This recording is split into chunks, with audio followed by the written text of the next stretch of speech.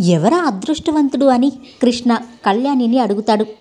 అతని పేరు బయట పెట్టనని వాగ్దానం చేశాను. అనుక్షణం డాడీ కనుచూపు పరిధిలో నువ్వు ఉంటావే. మరి ఆయనకు తెలియకుండా మీ పరిచయం ఎలా సాధ్యమైంది? అని కృష్ణ అడగడంతో తలుచుకుంటే సాధ్యం కానిది ఏముంది? నేను డాక్టర్ని కదా అతను ఎప్పుడో నన్ను చూసి ఉంటాడు. నా వయసు అందం అతనిని ఆకర్షించి ఉంటాయి. మెల్లమెల్లగా నాకు తెలియకుండానే నా జీవితంలో కలిశాడు. నేను ఎక్కడికి వెళ్ళినా అక్కడికి నా వెంట వచ్చేవాడు. నేను అతనిని లక్ష్య పెట్టలేదు ఎవరో చాలా సాధారణ వ్యక్తి అనుకున్నాను. నాలుగు రోజులుంటే అతని దారిన అతనే పోతాడులే అనుకున్నాను. అతను నన్ను గాఢంగా ప్రేమిస్తున్నాడని నన్ను సొంతం చేసుకోవాలని ఆరాటపడుతున్నాడని నాకు తర్వాత కానీ తెలియలేదు. మొట్టమొదట వచ్చినప్పుడు కొద్దిసేపే ఉండేవాడు. అతన్ని వెళ్ళిపోమని నేను వేడుకునేదాన్ని. వెళ్ళేవాడు కాదు రాను రాను ఎక్కువసేపు ఉండేవాడు. నన్ను వదిలి వెళ్ళలేక వెళ్ళేవాడు. నా అడుగులో అడుగు వేసి నడుస్తున్నట్టుగా రాను రాను నాకు దగ్గరైపోయారు. అతన్ని వదిలించుకోవడం సాధ్యం కాదని తెలిసి నేను లొంగిపోయాను. అప్పటి నుంచి నాలో ఒక యుద్ధం ప్రారంభమైంది. డాడీ ఎక్కడ గమనిస్తారోనని కుమిలిపోయేదాన్ని హడలిపోతూ ఉండేదాన్ని డాడీకి అతని గురించి చెప్పాలంటే భయం వేసేది. అప్పటి నుంచి నేను డాడీ దగ్గర దాపరికం మొదలుపెట్టాను. అంతవరకు బాగానే ఉంది. కానీ డాడీ దగ్గర ఎప్పుడు అబద్ధం ఆడడం అనేది నాకు తెలియదు ఈ రహస్యం డాడీ దగ్గర దాస్తున్నానని కలవరపడేదాన్ని. కృష్ణ లేచి వచ్చాడు. కళ్యాణి వైపు విచిత్రంగా చూస్తూ అన్నాడు కళ్యాణి మీ డాడీని నువ్వు సరిగ్గా అర్థం చేసుకోలేదనుకుంటాను. ఆయనకి కావాల్సింది నీ ఆనందం. దానికోసం ఆయన ఏదైనా చేస్తారు. ఎంత బాధనైనా భరిస్తారు. కళ్యాణి చివ్వున వెనక్కి తిరిగింది. ఆ కళ్ళ నిండా నీళ్ళు నిండి పొరలుతున్నాయి. నాకు తెలుసు కృష్ణ సంగతి. మీ అందరికంటే నాకే బాగా తెలుసు. అదే నా బాధ. అదే నాకు రంపపు కోత. అదే నాలో నేను ఇంతగా కుమిలిపోతున్నాను. నా వల్ల డాడీకి ఎంత బాధ కలుగుతుందో తలుచుకుంటే నా గుండెలు చెరువవుతున్నాయి. పాపిష్టి దాన్ని.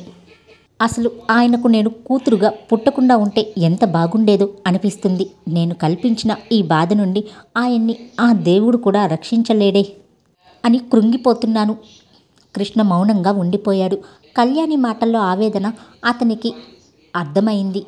కళ్యాణికి సాయం చేయాలని ఆరాటం కలిగింది. కళ్యాణి పోని ఎవరా వ్యక్తి? పేరు చెప్పు. తెలుసుకుని ఏం చేస్తావు కృష్ణ? డాడీకి నేను ఎలాగో నచ్చజెప్తాను. చెప్పగలను అనే ధైర్యం నీకుందా? ఉంది. కళ్యాణి గాఢంగా నిట్టూర్చింది. మెల్లని స్వరంతో అంది. అవును ఈ ప్రపంచంలో డాడీకి సాయం చేయగలిగిన వ్యక్తివి నువ్వే అనుకున్నాను. అందుకే నా బాధనంతా నీకు చెప్పడానికి ధైర్యం చేశాను. ఆ వ్యక్తి పేరు చెప్పు కళ్యాణి. ఆ వ్యక్త అతని పేరు పుట్టిన ప్రతి మనిషికి తెలుసు. అంటే ఆ వ్యక్తి పేరు మృత్యువు. కళ్యాణి అవును కృష్ణ మృత్యువు నన్ను గాఢంగా ప్రేమించింది. నన్ను వదలనంటోంది. తన స్వంతం చేసుకుంటానంటుంది. నా ఇష్టాయిష్టాలతో ప్రమేయం లేకుండా నన్ను లొంగదీసుకుంది. కృష్ణ నాకు పెళ్ళయింది అన్నానే. అది ఒక నవమాతృడితో కాదు మనుషుల్ని హరించే మృత్యువుతో. నేను వ్యాధితురాల్ని. నాకు ఎపెండో బ్లాస్మో ఆఫ్ ఫోర్త్ వెట్రికల్. ఇదే నేను నీకు చెబుతానన్న మహా అద్భుతం. నాకు తెలుసు Kalyani I know it I know it. Kalyani తలెత్తి చూసింది. ఏంటి? నీకు తెలుసా? తెలుసు. నువ్వు డాడీ దగ్గర దాచగలిగావు. నేను డాక్టర్ని. ఆ మాత్రం తెలుసుకోలేనని అనుకున్నావా? కృష్ణ ఆమె కళ్ళలో ఆశ్చర్యం ఆనందం ముప్పిరుగున్నాయి. కృష్ణ కళ్యాణి రెండు చేతులు పట్టుకున్నాడు. అతని కళ్ళలో ఈ ప్రపంచంలో ఉన్న జాలి సానుభూతి దయ స్నేహం అంతా పోగుపోసినట్టుగా ఉన్నాయి. బాధ నిండిన స్వరంతో కళ్యాణి మొదట నీ ప్రవర్తన నాకు అనుమానం తెప్పించింది. నువ్వు నీ తండ్రి ముందు ఏదో దాస్తున్నావని అనుకున్నాను. నీ తలనొప్పి నన్ను నాకొక హెచ్చరిక చేసింది. నీకు గుర్తుందా? రజనీకాంతరావు గారు అని ఒక ఆయన్ని నేను నీకు సెక్రటరీ గారని పరిచయం చేశాను. నిన్ను డాన్స్ ప్రోగ్రాంకి రమ్మని కూడా అడిగారు. ఆయన ఎవరో కాదు బ్రెలు స్పెషలిస్ట్. నేనే ఆయన్ని నా క్లినిక్కి రప్పించాను. అదే సమయానికి నువ్వు వచ్చేలాగా నీకు ఫోన్ చేసి పిలిపించాను పిలిపించాను ఆయన నీకు తెలియకుండానే నిన్ను పరీక్ష చేశాడు. కాళ్ళు కళ్ళు చూసి మార్పుల గురించి నాకు చెప్పాడు. అందుకే నేను నీ కళ్ళు అంత ఇదిగా పరీక్ష చేశాను. ఒకరోజు నీ కళ్ళని నేను పరీక్ష చేశాను.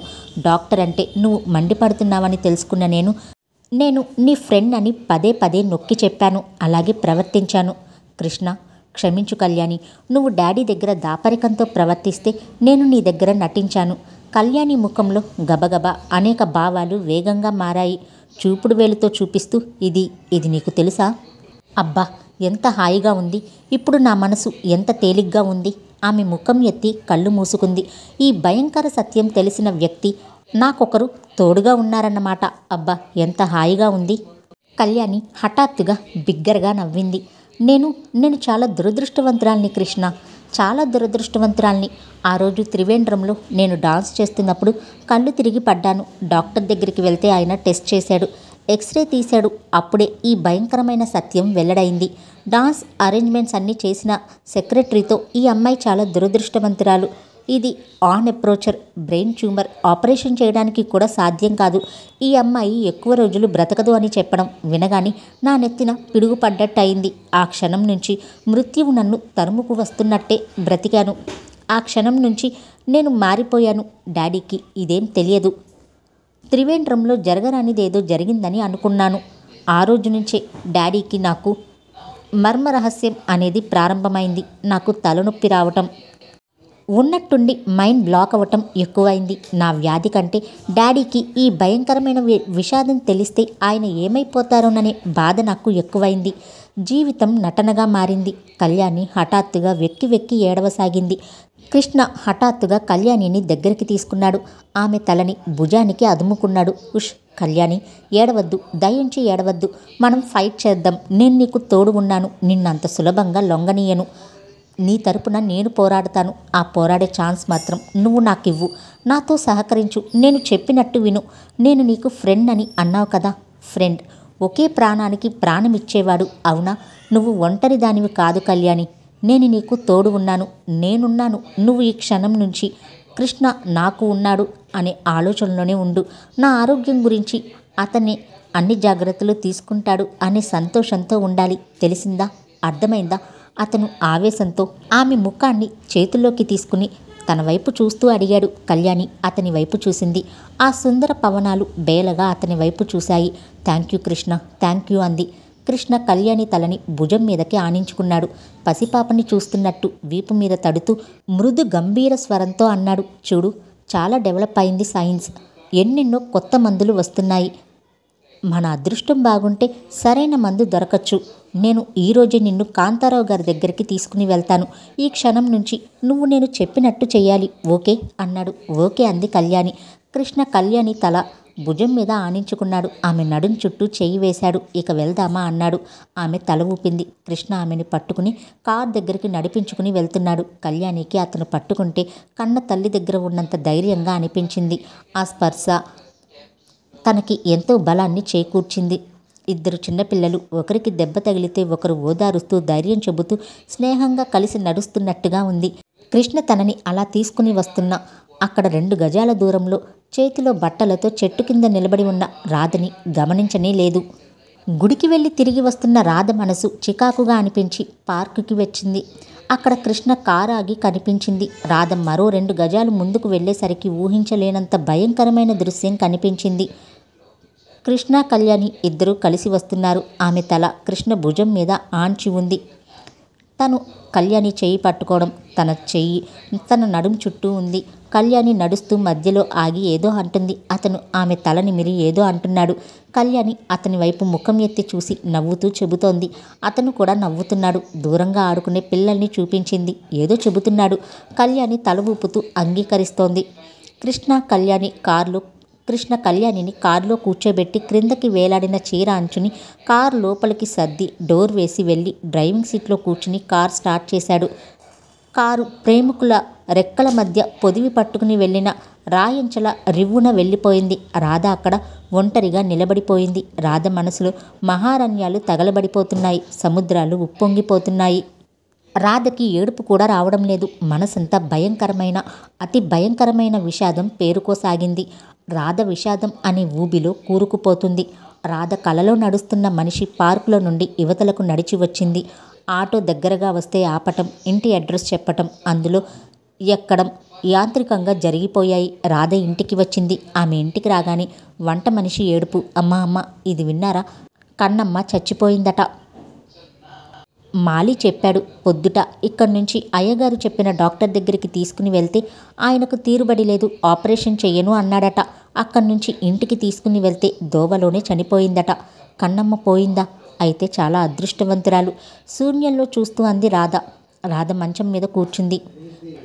రాత్రి పొద్దుపోయిన తర్వాత కృష్ణ వచ్చాడు. రాధ అతనికి ఎదురుగా వెళ్ళలేదు. రాధని అతను కూడా పలకరించలేదు. బట్టలు మార్చుకుని పడుకునే ముందు కళ్యాణికి ఫోన్ చేశాడు. హలో కళ్యాణి మీరేం చేస్తున్నారు? నిద్ర పట్టడం లేదా? నిద్రపోవడానికి ట్రై చేయి. నేను చెప్పిన మాటను గుర్తుపెట్టుకో గుడ్ నైట్ స్వీట్ డ్రీమ్స్ అంటూ ఫోన్ పెట్టేశాడు. ఆ మాట చెప్పేటప్పుడు అతని కంఠంలో లాలన ఆప్యాయత రాధను వెక్కిరిస్తున్నట్లుగా ఉన్నాయి. అతను ఫోన్ పెట్టేసిన తర్వాత లేచి వెళ్ళి అల్మరాలో ఉన్న పుస్తకం ఒకటి తీసుకుని అవతల గదిలోకి వెళ్ళి టేబుల్ లైట్ వేసుకుని చదవసాగాడు. బ్రెయిన్ ట్యూమర్ మీద ట్రీట్మెంట్ తెలిపే పుస్తకమని రాధకి తెలియదు. రాధ ఆ గదిలో చీకట్లో మంచం మీద దిండుకు ఆనుకుని కూర్చుని ఉంది. భారంగా అవతల గదిలో టేబుల్ లైట్ దగ్గర కూర్చుని ఉన్న తదేకంగా పూర్తి ఏకాగ్రతతో పుస్తకం చదువుతున్న కృష్ణ కనిపిస్తున్నాడు. రాధ కళ్ళకి ఈ కృష్ణ ఒక కొత్త వ్యక్తిగా కనిపిస్తున్నాడు. రాధకి అతని దగ్గరికి వెళ్ళి కళ్యాణిని నువ్వు పెళ్ళి చేసుకుంటున్నావా? అని అడగడానికి కూడా సిగ్గుగా ఉంది. అతనికి తను అవసరం లేదు అనే సత్యం నా మనసుని రంపపు కోత కోస్తోంది. మీ జీవితంలో నాకు చోటివ్వండి. అతను అతనిని దేవురించాలా? అంతకంటే చావు నయం. అవును చావు ముమ్మాటికి నయం. అతను తన కళ్ళ ముందే కళ్యాణితో చనువుగా ప్రవర్తిస్తున్నాడే. అతనేం దాపరికం పెట్టుకోలేదు. అంటే దాని అర్థం ఏంటి ఆ మాత్రం అర్థం చేసుకోలేని మూర్ఖురాలివా? అంటే తను ఏం జవాబు చెప్పగలుగుతుంది? డాక్టర్ రజనీకాంతరావు గారు ఎక్స్రేలు పరీక్ష చేస్తున్నారు. కృష్ణ ఆయనకి ఎదురుగా నిలబడి ఉన్నారు. ఆయన ఎక్స్ టేబుల్ మీద పెడుతూ కృష్ణ అది ఆన్ ఫోర్చుల్ ట్యూమర్. ఆపరేషన్కి ఏమాత్రం వీలు లేదు లాభం లేదు. ఈ అమ్మాయి ఎక్కువ రోజులు బ్రతకదు అన్నారు. కృష్ణ ముఖం సీరియస్గా ఉంది. రజనీకాంతరావు గారి మాటలు వినగానే అతని దవడ ఎముక కదలాడింది. ఢిల్లీలో డాక్టర్ వసంత్ పాటిల్ ఈ ట్యూమర్స్ ట్రీట్మెంట్లో స్పెషలిస్ట్ అని విన్నాను కళ్యాణిని ఆయన దగ్గరకు తీసుకుని వెళ్తే. లాభం ఉంటుందని నాకు నమ్మకం లేదు. అయినా ప్రయత్నం చేయడంలో తప్పేం లేదు. వసంత్ పాటిల్ నాకు తెలుసు. కళ్యాణిని తీసుకుని వెళ్తాను అంటే నేను లెటర్ రాసి ఇస్తాను. Thank you sir. కృతజ్ఞతగా అన్నాడు. డాక్టర్ రజనీకాంతరావు చాలా మంచి వ్యక్తి. ఆయన వల్ల కాకపోతే ఊరికే ఉండరు. వేరే వారికి వేరే డాక్టర్స్ని కూడా అడిగి మరీ తన ఒపీనియన్ని నిర్ధారణ చేసుకుంటారు. ఈ ఒక్కటే నా ఆఖరి ప్రయత్నం డాక్టర్. ఆయన ఇచ్చిన ఉత్తరం తీసుకుంటూ అన్నాడు. Wish you best of luck. May God bless her. ఆయన చేయి చాస్తూ అన్నారు. కృష్ణ ఆయనతో కరచాలనం చేసి యువతలకు వచ్చాడు.